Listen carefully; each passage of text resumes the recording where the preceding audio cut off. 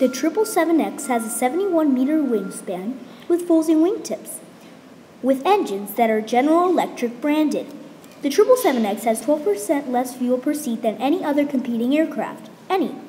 It has a cockpit with HUDs or heads up displays that allows the pilots with all the information they need directly.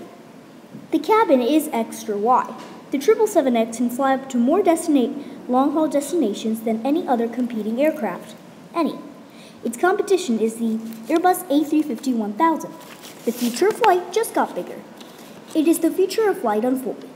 This plane will be released in the 2030s and 40s.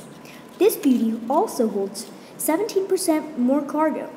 This plane is a flying eagle.